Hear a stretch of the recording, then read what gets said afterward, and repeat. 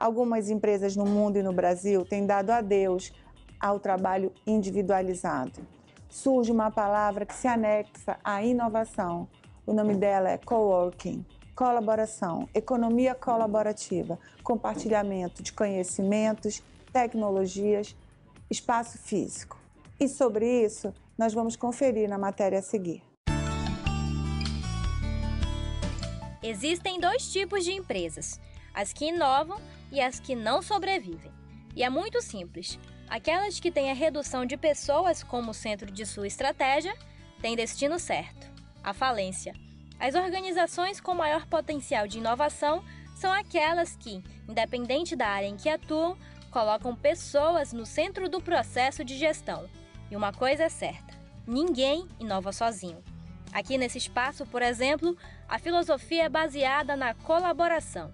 Este ambiente, criado pelo Daniel e o Antônio, faz parte de um modelo de gestão chamado coworking. A ideia do Cardume, na verdade, surgiu é, alguns anos atrás, de muitas viagens que você vai fazendo, é, conhecendo espaço, empresas, e eu comecei a, a, entender um pouco mais de economia compartilhada, visitar espaços que promoviam essa essa nova proposta de trabalho. Isso me atraiu muito essa mudança do cenário tradicional de trabalho para um espaço muito mais flexível, mais criativo, mais despojado.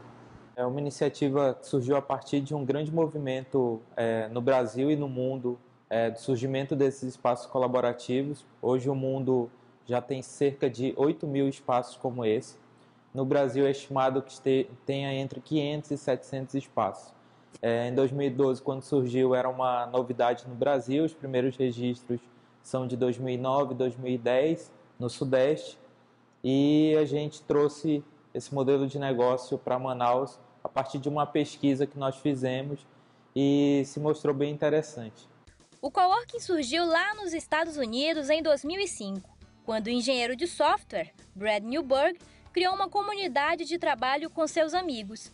Desde então, o coworking virou um modelo de trabalho que se baseia no compartilhamento de espaço e recursos de escritório, reunindo pessoas que trabalham não necessariamente para a mesma empresa ou na mesma área de atuação. No escritório compartilhado, o profissional tem à sua disposição sala de reunião, área de trabalho, telefone, internet e até cafezinho. Atualmente, o Brasil possui 378 espaços, um crescimento de 52% em relação a 2015. E esse crescimento tem resposta: crise. A criatividade que surge nos momentos mais turbulentos foi um dos motivos para a criação do coworking. Como o mercado Manauara não tinha essa coisa de do conhecimento, do compartilhamento, essa cultura de trabalho diferente, essa proposta. Então, teve um quesito bem desafiador. Então, nossa proposta, a gente começou no outro espaço, há quase dois anos, e a gente foi entendendo melhor, a gente teve um, um grande encalço em, em, fazer uma divulgação, em vender essa nova metodologia de, de, de colaboração entre as pessoas. E uma coisa que a gente percebeu nos últimos meses é que a procura aumentou por, por espaços do gênero em virtude da situação econômica do país. Então a gente vê grandes profissionais com empresas há muito tempo no mercado procurando outras alternativas. Com a crise, com a economia da forma que está, surgiu como uma, como uma oportunidade para os empreendedores e para as pessoas que, que estão pensando em empreender em baixar custo. Então hoje é uma grande, é uma grande vantagem você compartilhar recursos, compartilhar um espaço é, dessa forma. A economia colaborativa cresce a passos largos na região norte, mas as vantagens de trabalhar em ambientes como esses são inúmeras, especialmente pelo fato de você compartilhar o espaço com outros empreendedores, que podem ajudar você a buscar soluções para os seus negócios. E essa é a ideia. A gente percebe que o mercado manauara ainda é muito tradicional, ainda é muito aquela coisa fechada.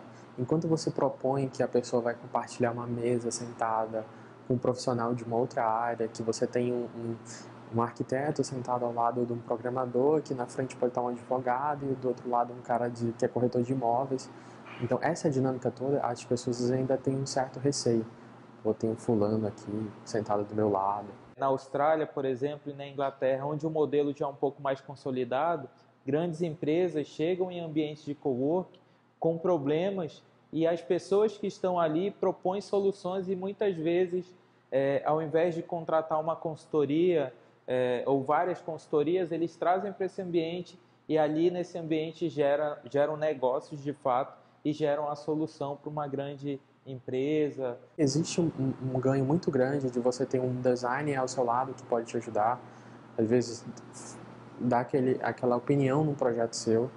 E um espaço tão inovador assim foi feito para inspirar a criatividade e proporcionar uma dinâmica de trabalho diferente, para gerar novas ideias e novos empreendedores. Tem essa questão da divisão do tradicional mais para o despojado, para o alternativo.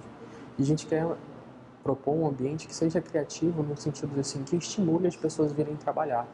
Que as pessoas cheguem aqui de manhã cedo pô que legal vou, vou trabalhar num ambiente muito legal vou conseguir produzir mais porque eu vou estar num ambiente que vai me gerar outras oportunidades de poder ah eu quero trabalhar hoje na beira da piscina porque eu estou me sentindo estressado eu vou lá e trabalho.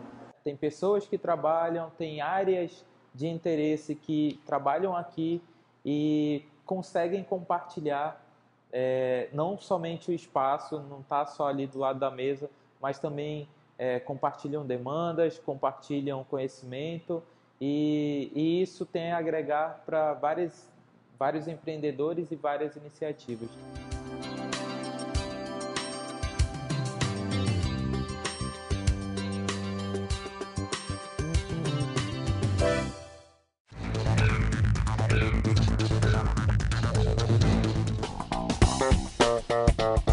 Primazia, em fevereiro de 2016, fez sete anos de existência. Sete anos de muito trabalho, sete anos de muita dedicação, sete anos de muito comprometimento com nossos clientes.